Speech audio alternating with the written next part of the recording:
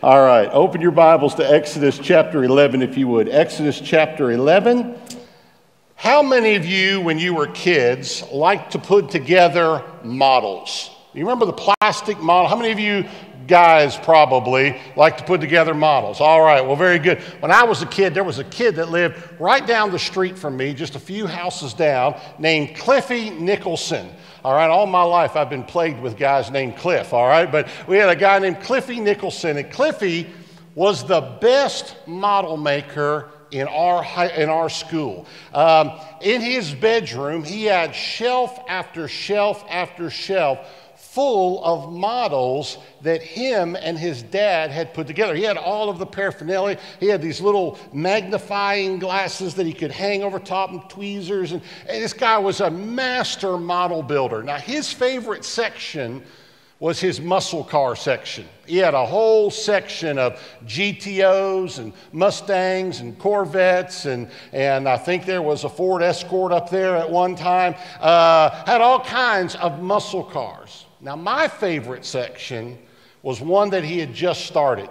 He had started building model rockets and he had them all. He had a whole set of shelves there. He had, you know, uh, he had all of the different variations of the Mercury. He had the Mercury Redstone, he had the Mercury Atlas, he had the Gemini. Um, but my favorite was his Saturn V rocket. It was three feet tall and Cliffy invited me to come down to his house and help to put it together. And it was one of the greatest moments of my childhood. Now, I know what you're thinking, I can feel it. You're thinking, how did this nerd ever get a date, let alone a wife? All right, well, um, it was all uh, about grace literally. All right. Um, now, I tell you that this morning about the models because this morning we're going to look at a model in the Old Testament. Think about what a model is for a moment. Um, a model is a miniature representation of something. You know, the, the Saturn V is 360 foot tall. Uh, Cliffy's model was only three foot tall. But all of the different components that made up that rocket were right there in the model. In fact, that's a picture of, of pretty much what that model looked like. The big one, not the little puny one, the big one, all right? And uh, you could take it apart. You could pull the different sections apart. When you pulled stage one off, uh, it would show the, the configuration for the engines on the second stage. You could pull the top apart and make the LEMs separated, even pull out the LEM, and we would recreate the whole moon landing. We had a blast with that thing. It was all the components were there in miniature. Well, today we're going to look at a passage in the Old Testament that has a model of our salvation in it. Um, one of the key principles that you have to keep in mind when you're reading the Bible a lot of you are together reading the Bible with us as a congregation. We're reading the Bible together. And then during the week, I, I prepare the message out of those passages. So this week, you've been reading these passages. But one of the things you have to keep in mind as you read is that every passage of the scripture, when rightly understood, points us in some way or another to Jesus and the gospel. The Bible is really about one person, it's about Jesus. Everything's there pointing us to him. And now sometimes we have to think really long and hard. Sometimes you really have to sit there for a while and, and say, Where is the gospel in this passage? In other times, it's almost immediately clear. By the end of this morning, you're going to be able to see very clearly that the Passover in the Old Testament is one of the best examples, the best pictures of the gospel in the entire Bible. And, and so, what I want us to do is just sort of walk through this passage.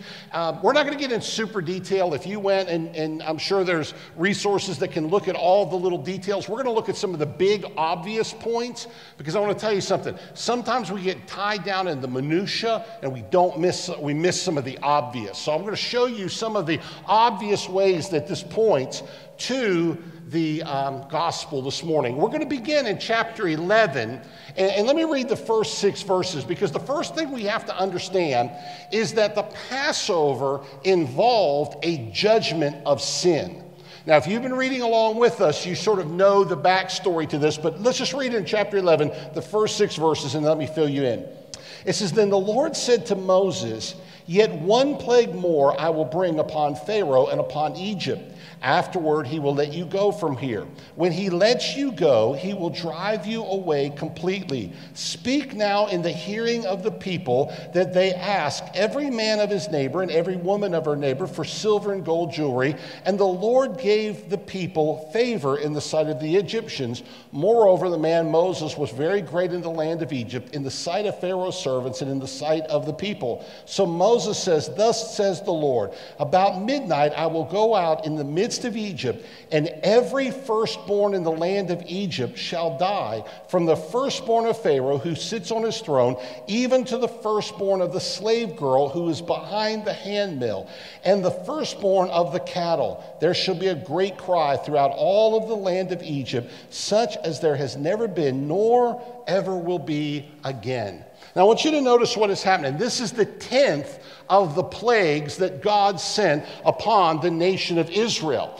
Now, the previous nine that he had sent, nine, I, am holding up five and saying nine, but nine, the previous nine uh, plagues that he had sent upon Israel, each were aimed at discrediting one or other of the Egyptian gods. The Egyptians worshiped a whole pantheon of gods. They had, you know, uh, uh, a god that made the sun go up and go down. They had a god, you know, the river Nile was a god to them. They had all kinds of gods, and each one of those plagues were aimed at discrediting one or other of the various gods. In fact, uh, the Bible points that out. Turn back in your Bibles to Exodus chapter 7 for just a moment, just a couple of pages, and look in verses 14 through 17. And this is sort of a description of as God uh, reveals this. He says in verse 14, then the Lord said to Moses, Pharaoh's heart is hardened. He refuses to let the people go. Go to Pharaoh in the morning as he is going out of the water. Stand on the bank of the Nile to meet him, and take in your hand the staff that turned into a serpent. And you shall say to him, The Lord, the God of the Hebrews. Now, notice what God is doing there. God wants, he wants to, to be very clear to Pharaoh who is executing this judgment. He says, the, the Lord, the God of the Hebrews, sent me to you, saying, Let my people go, that they may serve me in the wilderness. But so far you've not obeyed. Thus says the Lord, By this you shall know that I am the Lord. What's God doing there? God's saying, This plague that I'm about to send, Pharaoh, it should show you something. I'm in control. I am the Lord. I, am the only true and living God. And, and over in chapter 8, he does a very similar thing. In chapter 8, verses 8 through 11, then Pharaoh called Moses and Aaron and said, Plead with the Lord to take away the frogs from me. Always amazes me that he waited overnight. I mean, if my house filled up with frogs and I knew that Moses had told me to do this, I'd be calling Moses about midnight, all right? I, would have a servant run over there and say, hey, uh, go over there and, and fetch me Moses and get him over here. But notice what happens. Plead with the Lord to take away the frogs from me and from my people, and I will let the people go to sacrifice to, to the Lord.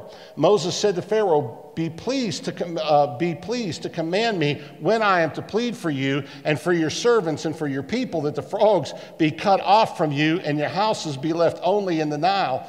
And he said, Tomorrow. And Moses said, Be as it you say, so that you will know that there's no one like the Lord our God. Later on, over in chapter 12, he's going to repeat that same idea. Every one of these um, plagues were sent to discredit the Egyptian gods. Now you say, what does that have to do with a judgment of sin? Well, it's very important that you understand that at the root of every sin that the, is, is the sin of idolatry. The most fundamental sin that we commit is the sin of idolatry. Over in Romans chapter 1, verses 18 through 32, Paul picks up on this idea. And he says, Look, God has revealed himself to us in nature. You know, you go out in the, at night. I do this uh, all the time in my neighborhood. My neighbors think I'm crazy. Look up at the sky. What do you see? The stars. You see the heavens. You see the created order around us. All of that is there to reveal that there is a creator who made it. But when we refuse to worship, when we refuse to acknowledge God, what ends up happening is, is we create an idol in our heart. We make a God in our own fashion. I want to say this to you. I know a lot of people who belong to Baptist churches who have created false gods. The reality is, is what we really need to know is what does the Bible say about who God is? The sin of idolatry lies at the heart of all of our sin, all the way back in the Garden of Eden. The first sin ever committed. Let's think about it for a moment. God tells Adam and Eve, uh, You can enjoy everything in this garden except do not eat from this one particular tree. Right? We all know this story. Don't eat from this one particular tree. Satan comes along and he convinces Eve that God is holding back on her that God is not giving her something, that her life is not complete in obeying and living in a relationship with God. That what she needs is to experiment and find something else that will give her a deeper level of knowledge. And so, what does she do? She goes out, she eats of the fruit after Satan had deceived her. And what happens? She brings sin. Here was her problem. In a sense, what she was doing was substituting God who she knew and creating her own false understanding of God. It was all idolatry. At the heart of every sin is the problem of an idol. And now God is announcing that judgment is coming. That here we are, we've, we've gone through the whole pantheon of Egyptian gods, and, and you guys have not repented, you've not turned around. And so now there is going to be a devastating judgment. God is going to take the firstborn from every household. All right? And, and so what he's pointing out there is there's a judgment day. Now, listen, I want you to hear this. And this is something we have, we don't preach much in the churches in America today, and that's why we're in the condition we are. There is a judgment day coming. I promise you, there is a judgment day coming. Hebrews chapter 9, verse 27 says that there is a day that is appointed for you to die. It is appointed once to die, and then the judgment. The reality is that every single one of us in this room today is one heartbeat away from standing in the presence of Almighty God and having to give an account for our life. There is a judgment day that is coming where we will be judged. Listen, God knows everything, not only that you have ever done, that's scary enough. Amen? That's scary enough that God knows every single thing. Because here's the deal we know this. You know, very few people know everything that I've ever done wrong in my life. All right? But God knows. And He's kept a record. And He knows every time that I've rebelled against Him and every time I've sinned against Him and every stupid, knuckle headed thing I've ever done. He knows perfectly. Now, by the way, that should terrify us. Beyond knowing what we've done, He also knows what we've thought. You know, up here is really where the battle begins. The battle over sin is really a, a, battle that goes on in our minds. He knows. And we are going to be judged for it. Matthew chapter 12, verses 36 says, But I tell you that everyone will have to give account on the day of judgment for the empty, every empty word they have spoken. He's reminding us, Revelation chapter 20, verses 11 through 15, reminds us there is a judgment day coming. Well, this is Egypt's judgment day. And so the Passover involves a judgment of sin. Now, when we look to the cross, there is a judgment of sin.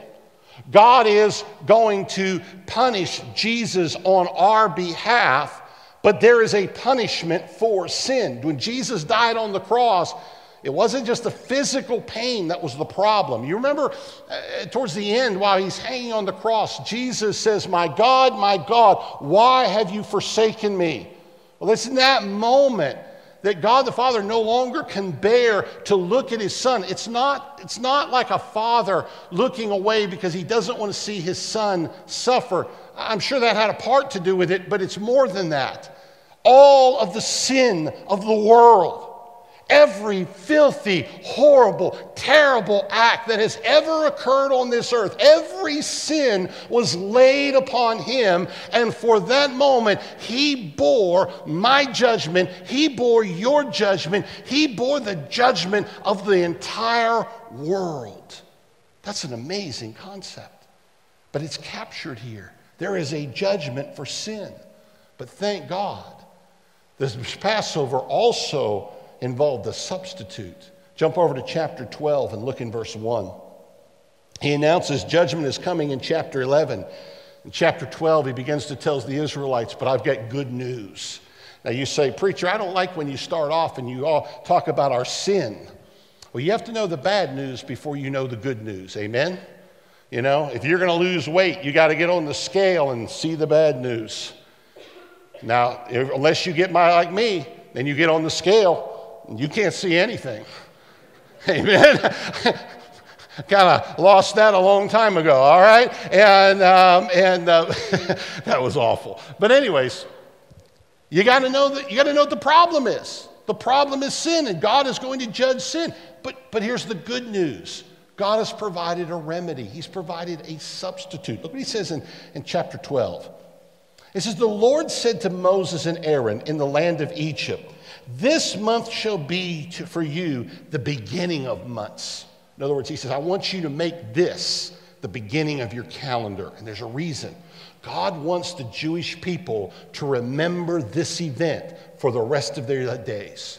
He wants, he's going to instruct them later on about how to pass this on to their children. This becomes the quintessential moment in the Old Testament where God says, Listen, this is so important. I want you to build your calendar around it. I want you to, to, to mark the calendar by this particular event. Notice what he says This month shall be for you the beginning of months, it shall be the first month of the year for you. Tell all the congregations of Israel that on the 10th day of this month, Every man shall take a lamb according to their father's house, a lamb for a household. And if the household is too small for a lamb, then he and his nearest neighbor shall take according to the number of persons, according to what each can eat, and you shall make uh, your count for the lamb. Your lamb shall be without blemish, a male, a year old. You may take it from the sheep or from the goats, and you shall keep it until the 14th day of this month, when the whole assembly of the congregation of Israel shall kill their lambs at twilight. Then they shall take some of the blood and put it on the two doorposts and the lintel of the house in which they eat. And they shall eat the flesh that night, roasted on the fire with unleavened bread and bitter herbs, they shall eat it. I want to stop here and I, I, want, I want to show you something here. Every Israelite house is instructed to get a lamb. There are a couple things about this lamb I want to point out. First of all, it is a lamb without blemish. In fact, they were to get it early and keep it for a few days and to make sure that they kind of watched over it and took care of it. Why, what are they doing? They're making sure that lamb is perfect. It has to be a perfect lamb. Now, the reason for that is because that is pointing to us to something in Jesus. The Bible teaches it that Jesus was tempted in every way that you and I are, and yet he was without sin. He was perfect. In other words, when, when you look at the New Testament, you realize that Jesus has completely and perfectly fulfilled all of the law of the Old Testament on our behalf. He is without blemish. So when Jesus died on the cross, he's the only human being in the history of the world who can say he did not die as a result of his own sin. He didn't die because of anything he had done.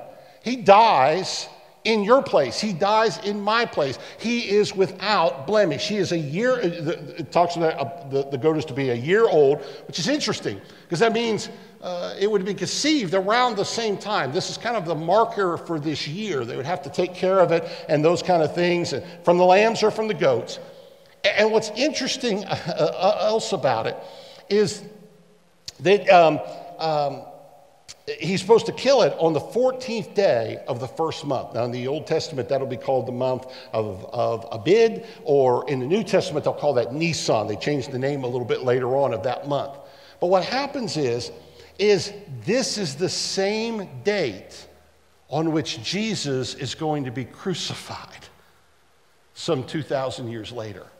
Everything about this is pointing us to Jesus. And here's what that lamb would do.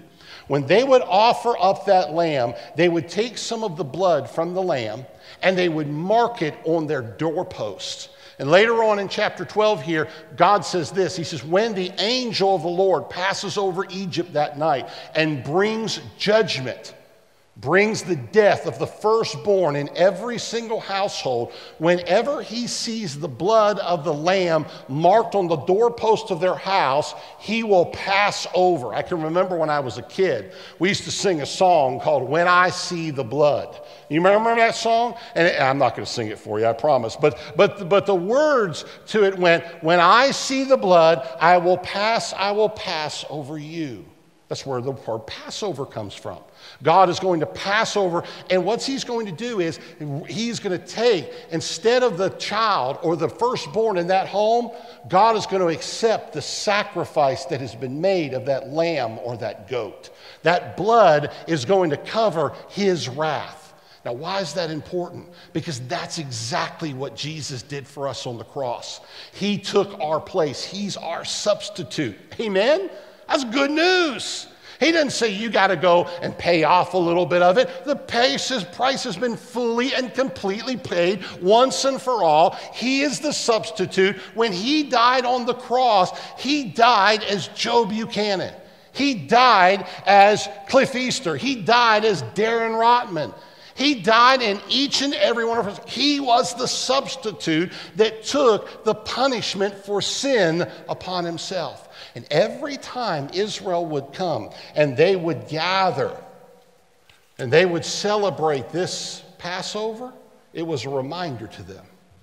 God provided a substitute, but it was also pointing forward. Now, this concept of substitution, this isn't the first time that it appears.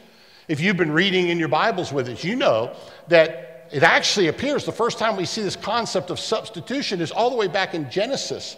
Remember, right after Adam and Eve sinned, one of the first things that they realized, and here's what sin always does sin always promises that it will be fun. And for a moment, it sometimes is. I'm not going to deny that. For a moment, sin can be fun, but then it brings shame and it brings separation and it brings brokenness. Adam and Eve, they sinned. Up until this point, they had a perfect relationship. There was nothing between the two of them. They had a wonderful, perfect marriage. But the moment they sinned, listen to this, they looked at each other and they realized they were naked. Now, that's not, don't get weird about that. What's happened now is they're embarrassed and they're vulnerable. And here's what happens they're afraid to be naked in front of each other. Because all of a sudden, that relationship is broken. And one of the things God does is He goes and He kills an animal and He provides them with skins to cover their physical bodies. But let me say this to you the blood of that animal covered their sin for a time. And you'll see it over and over again later on. When God gives the law in the Old Testament, when we get over to Exodus and, or, or over into Leviticus and Numbers, we'll be reading about the Day of Atonement. Once a year, the high priest would come and, and they would take a bull. And, and the people of Israel would all confess their sin, and the high priest would lay his hands upon the bull, symbolically transferring all of the guilt of the entire nation of Israel into that bull, and then they would slay it. Why? That bull was a picture of the substitute all through the Old Testament. God is saying, listen, you can't deal with your sin problem on your own.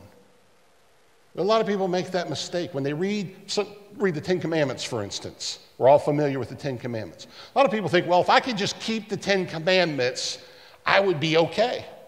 I'd be all right. God would accept me, and I'd be able to go to heaven when I die. I've been a pretty good person. How many of you ever heard that? You sit talking to somebody about what'll happen after you die, what happens to your soul after this life is over.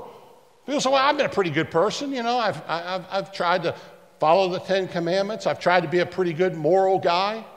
The problem is, the Old Testament law is the prescription. And by the way, you haven't kept them. Because the Bible says if you failed at one of these points, you're guilty of the whole law. What happens? We've all told a lie. You know what the amazing thing is? God doesn't make any distinction between little white lies and big fat lies. All right? They're just lies. He said, if you've thought about it, you're guilty of it. And so we're all guilty. And it reminds us what happens is we can't live a good enough life to earn our way back. So God says, I'm going to give you a substitute. Let me give you another word for that. I'm going to give you a savior. I'm going to send someone who will bear your punishment, will take your place, and give you life. Flip over, hold your Bibles in Exodus, but flip over to the book of Isaiah. Isaiah chapter 53. I have a, a love hate relationship with the Isaiah 53. Um, I love the theology of it, but when I was a kid, our pastor preached, and I'm not kidding you, I think, uh, I think Pastor Strickland uh, preached in this book for a, uh, this one chapter for almost two years every Sunday morning and wanted us all to memorize it. At one point, I did have it all memorized, and then I forgot it, all right? So I guess I really didn't have it memorized, but I had it for a moment, all right? But, but, but listen to what he says in Isaiah 53. One of the most incredible pictures of what Jesus does for us here in the Old Testament. Isaiah 53, look at verse 4. Surely he has borne our griefs and carried our sorrows, yet we esteemed him stricken, smitten by God and afflicted, but he was pierced, listen to what it says, for our transgressions. You see the substitution? When Jesus died on the cross, when they nailed him to the cross, they pierced him for our transgressions, for our sin. Look what else it says. It says, But he was crushed for our iniquities. When with was, and upon him was the chastisement that brought us peace. When God punished Jesus, it brought you and I peace. That's why Paul can say in, in the book of Ephesians in the New Testament, that, that now, um, uh, that, that, that God, or I'm sorry, in, in, in Romans chapter 5, that now Jesus has become our peace. He has given us peace with God through his death on the cross. Jesus is our substitute. He died on the cross for us. So the picture here in Exodus is of a substitute, pointing us to Jesus. But, but the Passover also required faith. Did you know that? This was not just something God says, I want you to go do this, but I want you to think about this. There was probably some joker sitting down there going, wait a minute, wait a minute, wait a minute, wait. You're telling me that God's going to judge the Egyptians and any house, any Israelite, by the way, he's going to judge their sin unless they go get a lamb, kill the lamb, take some of the blood, and mark it on their doorpost. Yes. There was probably some joker that went, I don't believe it. I don't believe that. And he didn't do it. You see, it's not the act of doing it that saves the person. It begins with faith. They had to believe that this was genuinely and truly the Word of God. They had to believe that God was really speaking through Moses, and then their faith was demonstrated by their action. By the way, that's the same way in the New Testament, is it not? In the New Testament, when, when, when God gives us a command, the way we know whether we believe it or not, or whether we really believe God, is do we do it? Do we put it into practice? That's why James says that, that th- there's a relationship between faith and works. We're not saved by our works, but true belief, true salvation always results in us being obedient to God. There are a lot of people who think what they want to do is get some fire insurance. I'm going to say a few words, I'm going to pray a prayer, and then I'm in. But I'm going to say this to you that's it's not the way it works. Yes, you must believe, but that belief must be the kind of belief that operates and, and begins to produce a transformation. It has to change your life, it has to be uh, putting in the faith. Look in verses 11 through 13, you'll see what happens.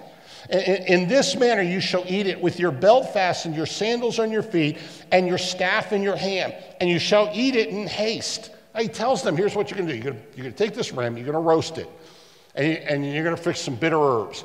Now, I know there are a lot of different symbolisms that are caught up in that, okay? Let me tell you the right ones. This was all about speed. It's all about speed.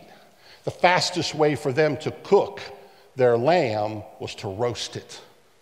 The bitter herbs, that's because you didn't take time to really go through and prepare them. They're supposed to sit down. They're supposed to have their clothes ready. And they wore different kind of clothes. Their belt wrapped around their. In other words, you're supposed to be dressed. You be ready because tonight you're leaving. Tonight you're getting out of Egypt. And they had to believe that. They had to sit down on that night and be ready. They were going to put their faith into action.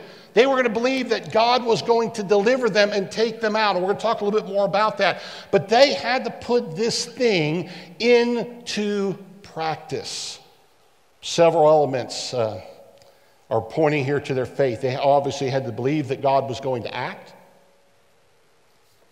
You have to believe that God is really going to do what he said he's going to do.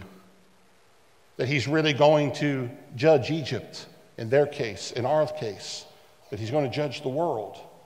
That one of these days, that the things that God says in his book, he means them.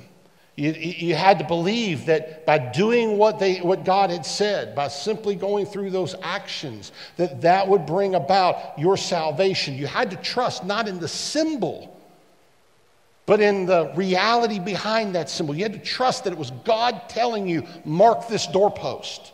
Amen? You following me? So you have to, when we put our faith and trust in the gospel, it's not just saying words. You have to trust that the God who made these words, who God who made these commandments, you must trust Him. Uh, that's the way it is all the way through the Old Testament. God spoke to Abraham. We looked at this a couple weeks ago. God speaks to Abraham. He says, Leave this place and go here. God didn't tell him where he was going, didn't really tell him how he was going to get there, or even what it was all going to be like when he did get there. But what happened? Abraham believed God, and how do we know he believed God? He left Haran and he went to Ur. He put his faith into actions. It required faith. The Passover then brought about deliverance. You notice what happens down here in, in verse 21. He's telling them in these earlier verses be prepared, get ready. He gives them instructions about here's what you're going to do. Um, you're going you're gonna, you're gonna celebrate this feast, and then we're leaving. Notice what he says in verse 21. And then Moses called all the elders of Israel and said to them, Go and select lambs for yourselves according to your clans and kill the Passover lamb. Take a bunch of hyssop and dip it in the blood that is in the basin and touch the lintel and the two doorposts doorpost with the blood that is in the basin. None of you shall go out of the door of his house until the morning. For the Lord will pass through to strike the Egyptians. And when he sees the blood on the lintel and on the two doorposts, and the Lord will pass over the door and will not allow the destroyer to enter your house to strike you. You shall observe this rite as a statute for you and for your sons forever. And when you come to the land that the Lord will give you, as he has promised you, you shall keep his services. I love what Moses says. Get ready. Do what God says. Stay in your house in the morning. But then you notice he's already talking about, and we're going to keep this when we get to the promised land. You know what Moses is saying? Boys, we're going. We're leaving. God is going to deliver us out. And you know the rest of the story, right? God that night moves over the entire nation of Egypt, and every house on which there was no mark on the door, they took the first son of that family. But on every place where he saw the door or the blood, he passed over.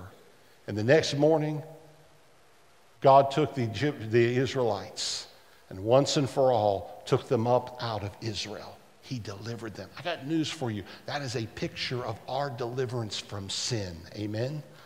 When we put our faith and we put our trust in the Lord Jesus, He forgives us completely. He delivers us. He gives us a new life and a new start.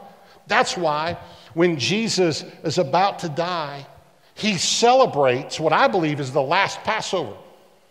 We don't, we're not celebrate the Passover anymore. Jesus comes and and he says to his disciples, We're going to celebrate this, but then he institutes the Lord's Supper. And that is our great symbol and our great picture of our deliverance. Because what does Jesus say? He takes the bread and he says, This is my body. And he takes the cup and he says, This is my blood. And he's reminding them that what I'm going to do tomorrow is going to bring your salvation and bring your deliverance once and for all. Amen? It involves a deliverance. But finally, it came with a commission. Look what he says in verses 26 and 20 through 28. And when your children say to you, What do you mean by this service? So every year you're going to have to celebrate this Passover, and your kids are going to invariably ask in a very whiny voice, Why do we do this, mommy? Why do we do this, dad? Why are we doing this thing every single year? By the way, I don't know that this would have been that fun of a celebration. Here's what we're going to do we're going to eat some bitter, nasty herbs. All right? And then, by the way, there were other things that the Jewish people involved in this process, but it wasn't going to be an easy. But he was, when they ask you, look what he says. When your children say to you, What do you mean by this service? You shall say, It is the sacrifice of the Lord's Passover. For he passed over the houses of the people of Israel in Egypt when he struck the Egyptians, but spared our houses. And the people bowed their heads and worshiped. What God's saying is listen, you have to pass this news on to the next generation, and the next generation, and the next generation, and the next generation. Cliff and I have been talking a lot about this here these last couple of weeks.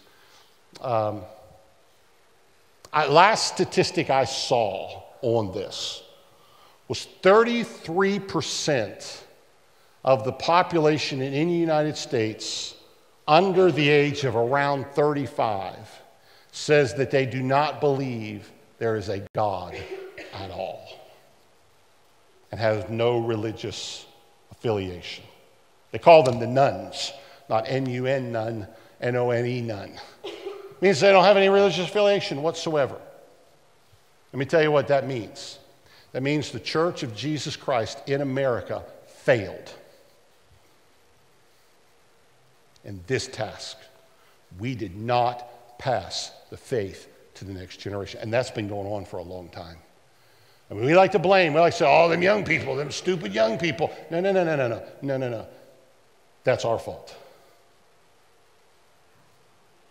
When we see the rise in that, it means that we have failed in the fundamental task that God has given every parent, which is to pass their faith to their children. It is failure in the primary one job that Jesus said for the church to do. What did he tell us to do? Go and make disciples of all nations. And what have we done? We've not done that very well. So, what am I saying that we better do? First of all, let me say this there's really only two things to my invitation this morning. Number one, if you don't know Jesus as your Lord and Savior, I want you to come to know Him. Turn from your sin and put your trust in Him. Amen? Don't wait any longer. Judgment day is coming. You know, here's the, here's the, the thing about it. Everybody thinks, I'll just wait. I'll wait. I'll get saved, you know, later on in my life. The problem is you don't really know how long you have. You really don't. It could be today. It could be tomorrow. Not only could Jesus come back, that would be one thing, but you don't know how long your life will be. You say, oh, I'm young, I've got years and years and years. I hope so, but maybe not. The reality is be ready when he comes. So if you don't know Jesus as your Lord and Savior today, I want to invite you turn from your sin, trust Him, get it settled today. If you are a believer, we were talking the other day, Cliff and I. I think John was in on this conversation too. We're talking about, you know, we got to have some discipleship groups that are meeting and doing some things. I talk about, I said, we got to do a little seminar thing, a little training thing on how to become a disciple maker. And one of the first things I said is we need to define what a disciple maker is. A disciple maker is a disciple. Amen? The bottom line is if you are a Christian, if you are a Christian, if you've been saved, Your job is to make other disciples. Amen? You know, it's like a donut maker makes donuts. He doesn't go to work and say, I wonder what I'm going to do today. He makes donuts. I don't know, I'm hungry. That's why I'm thinking donuts. All right? The guy goes there. You know, my dad worked at a steel mill for all those years. And he come home and say, Dad, what did you do today? He goes, You know, oddly enough, we built sheds today. No, he made steel. That's what they did. You're a believer. You're a disciple. Your job is to make other disciples. You say, How do I do that? Well, well, let me say this. One is just go do it. Amen. Go tell somebody about Jesus. Take them under your wing and just teach them what you know. Show them one stuff. Listen, we've got, if we don't, we talk all about we got a big and important election coming. I'm going to tell you, here's what this election is going to boil down to. Which knucklehead are we going to elect? Because they're all knuckleheads. There ain't one of them that's going to, listen, it's not going to affect. Listen, I'm just going to say this to you. If you think politics will change our country or our community, or you're nuts.